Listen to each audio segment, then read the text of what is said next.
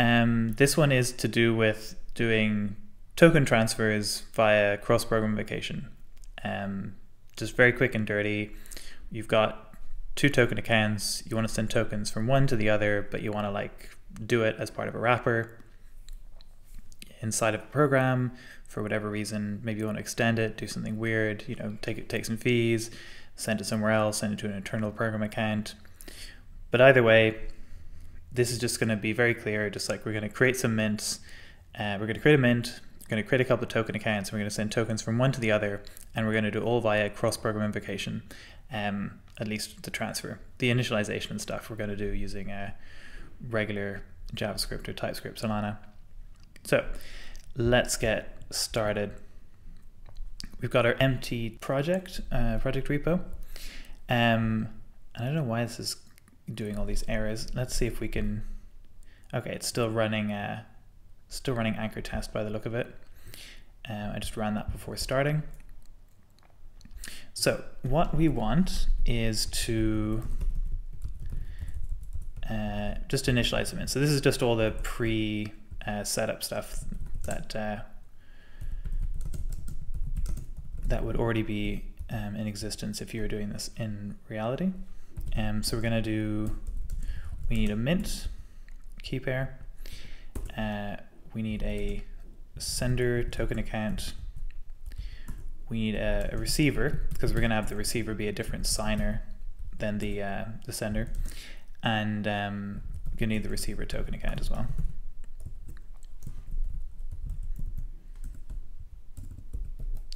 Perfect. All right, and we're going to be lazy, and we're going to use the um, Solana cookbook for all of this. So first, we're going to create a, uh, a mint. So we're going to steal, or steal. We're going to, going to copy these lines over. That's good for a step. And then next step, just copy over this. Um, cool. First thing that we want to do is to uh, just generate the key pair for Mint. And then because we're not using uh, Classic Solana, we're going to just use all the anchor stuff. So we've got program.provider.wallet.public key. They're going to be the ones who pay for everything. And then for our connection, it's again going to be program.provider uh. Uh, we're not going to do eight decimals because that's weird. We're going to do six decimals, um, which is more standard, I guess, in, in Solana. Um, and then for mint authority, we're also going to give that to program.provider uh, dot wallet dot public key. And you know, I we're not going to use the uh, the freeze authority, but it's going to make us put that in anyway. I'm not I'm not going to find out how to set null. And then we want to do program dot provider, and we're going to use a special one. So instead of using what they have here, which is a connection dot send transaction, uh, where you send the transaction and the, all this kind of shit. Um, we're just going to use program.provider.send, which is a special sort of anchor thing where it'll attach the signature of the wallet automatically if it detects that it's required, which is pretty handy. So this is going to be a create mint transaction, uh, and we're going to send that. And I think that we're going to need the uh, signature of the key pair as well. Uh, and let's see if we can run anchor test on that. Oops. We're going to just run uh, anchor test see what happens. Just make sure we don't get any errors from this. Okay, cool. That's passing. So that's sending the thing, although actually we probably need no wait there. That would make sense. All right, and then next up, um, I wonder if we'll print this out just to just to check.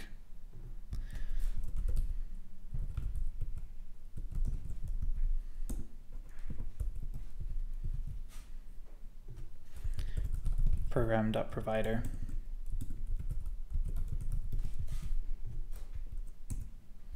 Just quickly check that. Ah, okay, interesting. So we're getting we're getting some sort of error. Program.writer.send. You know what? I'm almost sure that it's that. So let's let's just move on. Move on quickly. Um, all right. Next couple of things we need to do. We're going to create a couple of token accounts, and these are ancillary token accounts, which you really shouldn't be making um, under most circumstances. Um, should always be making associated token accounts for users, but just for the purpose of testing, we're going to do it because it's quicker. Um, send, yeah, create sender token transaction. Okay, so from is going to be program.provider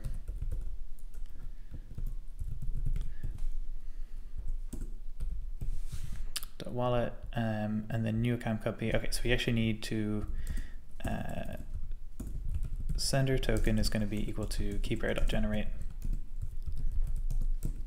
So it's a new empty Solana account.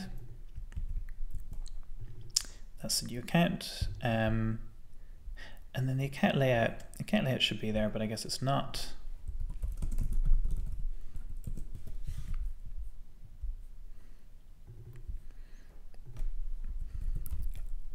and then again program.provider.connection.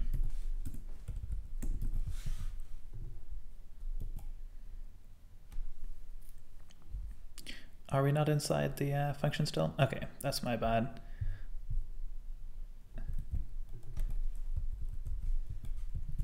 It's better.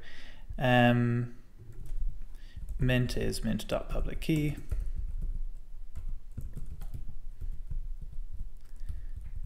and then the token account is uh, sender token. And then the owner is going to be the program.provider.wallet.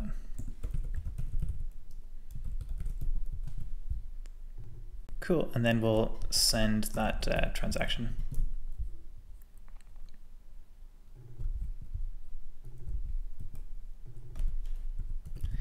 And we need the sender token uh, as a signer as well.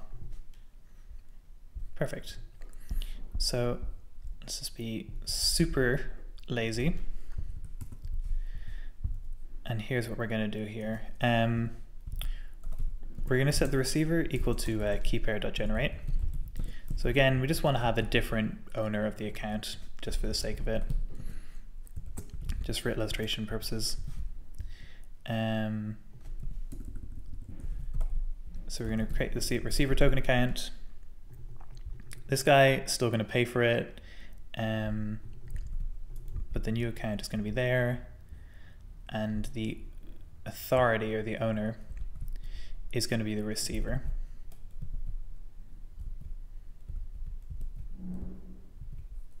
Don't know what's going on there.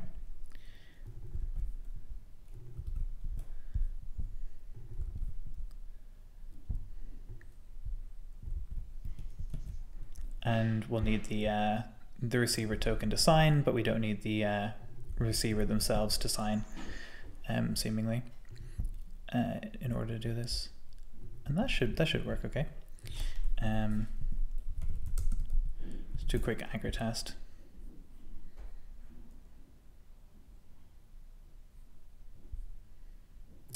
Unknown signer. So receiver token. Yeah, for the new account public key, that makes sense. That's there. Same with sender token. Program.provider.send. Unknown signer. Ah, that's why. Sorry, we didn't update this. Perfect. Okay, uh, that should that should fix that.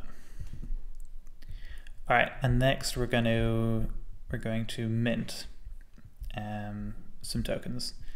So again, just go to the uh, cookbook and take what we can. So this is like let mint tokens. All right, so it's going to be mint.public key. Uh, receiver is going to be the sender token dot uh, public key. And then the mint authority is the uh, program.provider.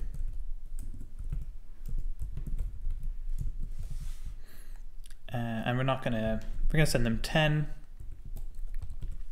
or you know let's just send them two and then we'll send back one at the end of all this. That makes sense to me. Uh, and then again it's await program dot provider dot send. Uh, and we're going to send mint token transaction uh, and the signer the only signer we need is the uh, program dot provider uh, wallet, and that should do that automatically. Okay, and then finally, I kind of like um, where is this thing? Oh yeah, get a get token account balance. We we can do this. Console.log and then sender token public key.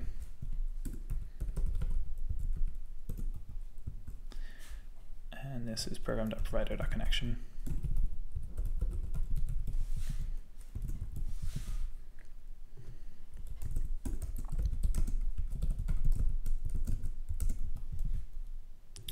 Cool. That should be that should be all that we need for this setup. Um, we've got our mint, we've got our two token accounts, and we have some balance in the uh, in the token account. So there you go. We've got two tokens with six decimals at the end. Now let's get into the uh, the actual meat of it. This lib.rs over here. First off, we're going to have to uh, include some extra dependencies in our cargo.toml. So this cargo.toml is this one here uh, on the left. So it's like below programs, just above lib.rs. So we have um, dependencies equals anchor-spl 0.1882. Um, and this is, this is again another wrapper that Anchor has provided around the token program, and we're writing another wrapper around that, but it, it makes sense. So what are we going to do? We're going to do transfer wrapper. Um, and then we've got our context struct, which is where we define all of the accounts that we're going to need. And that's this one here. This is all the accounts that we're going to pass in uh, at the start. And we need to use the lifetime of info just because that's the convention that we follow in Anchor. So the uh, first thing we're going to need is we're going to need the sender to actually sign for this. Um, because we're going to be sending tokens from their account. Um, and the public and the SPL token program will check that they're a signer. Then we're going to need a, oh actually I skipped, skipped ahead a little bit. We're going to need to import a bunch of uh, structs from the SPL token program library. So Let's see if we got this here. This IDO pool. Ah, here we are. So th this is the SPL um, token program kind of library in, in Anchor. It's in Anchor slash SPL slash source slash token.rs. And it's got a whole bunch of functions. So this is the transfer function that we're going to be using. And transfer relies on this struct um, that we're going to provide, which is here. Sort of like you've got the from account, the to account, and the authority account um, and that should be enough to get us get us by. So back here, we're going to import some of those structs and those functions that we saw. So we're going to import the token. Um, there's a token account um, for deserializing mints and token accounts. That looks good anyway. Um, okay, so sender token account is just going to be uh, account and that's a token account.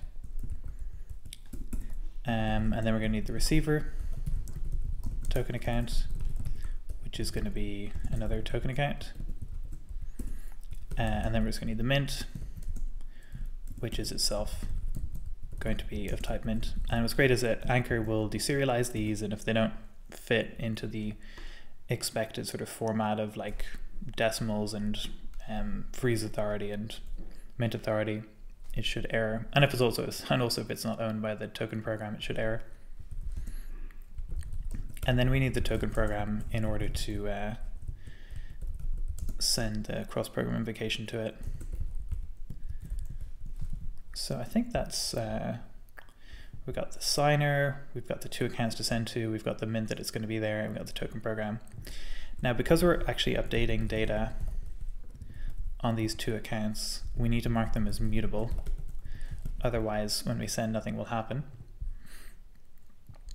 And then finally, or not quite finally, but if we're going to do transfers, we need to format um, our transfer, our context here into a cross-program invocation context. This is just the format that Anchor wants to see all cross-program invocation contexts in. So we need to make a uh, an implementation function that does this. So it might look a little confusing, I don't know, but just follow the uh, convention and you should be fine. So you add an implementation on the context struct, and we're going to call it transfer context. Uh, and it's just going to take itself as an argument, and it's going to return CPI context. And now all these things here are just like basically unused lifetimes, but we do need them to specify that we're going to use info and then we're going to use transfer and who knows what any of this stuff does, but just uh, as long as you do it, it'll work. So we're going to create a new CPI context and that's going to take a couple of things. It's going to take the program. So first off, we pass in the uh, token program and that's to account info as well.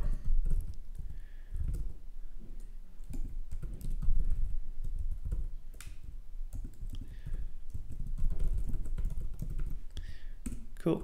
And then we need to set in the accounts. So the accounts are going to be in the format of the struct that we mentioned before. Um, it's going to be from self.sender. Oops.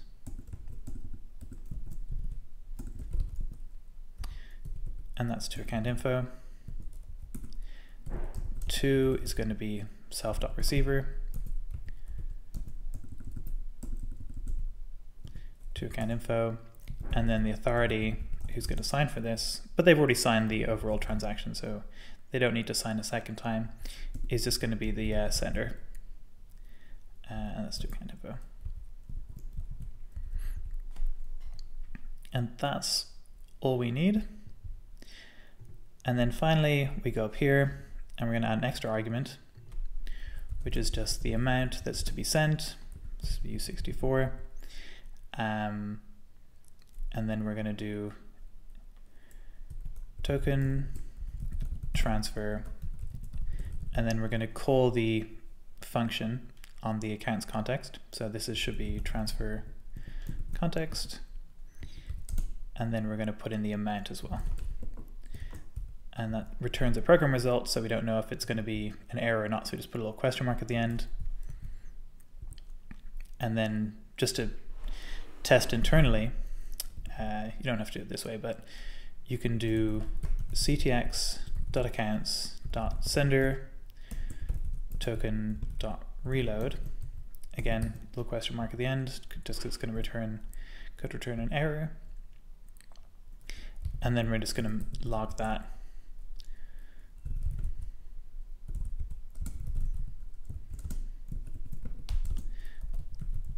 ctx dot accounts sender token dot uh, I think it's dot amount. She will just do we'll do this here as well, starting tokens, and then we'll just see that there's a difference. And then let's just make a new test for this.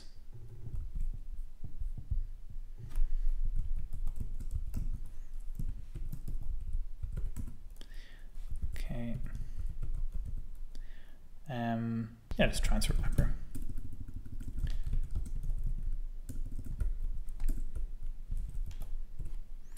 Cool. And then I think we need, yeah, we're, we're gonna need the amount and we're gonna make that a big number. So it's just anchor.bn. Um, and we're gonna send one of the two that we have. And then it's just gonna be program rpc dot transfer wrapper and then we get the amount, and then we need to specify what the accounts are. So we've got the sender, I think was the first one. Um, So that's going to be program.provider.wallet.public key. And then the sender token is just going to be sender token.public key. And then receiver token, same thing.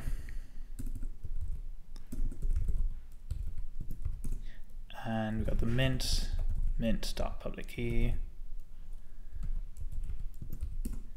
And token program is the uh, the token program ID.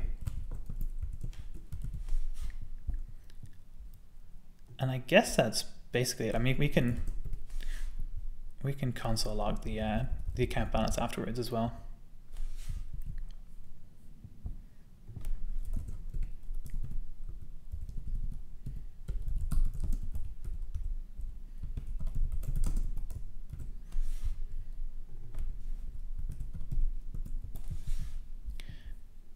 Cool, and it should just, it really should just be as simple as that. But of course there's gonna be some kind of error. Okay, for example, I did not use await here. I often forget that. Oh, no, no, no. So I forgot to put in a proper camel case.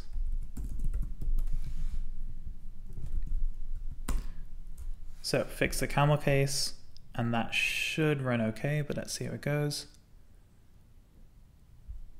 Yes, and now we can see each account has one.